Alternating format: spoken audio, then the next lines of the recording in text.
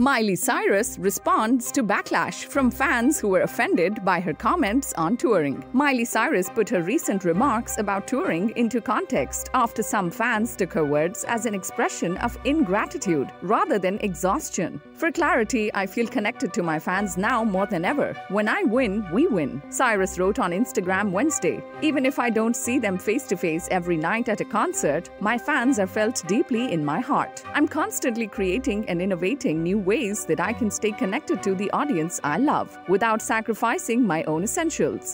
Subscribe to our channel for the latest on your favorite celebrities. Like, comment, and share, and don't forget to press the bell icon for notifications.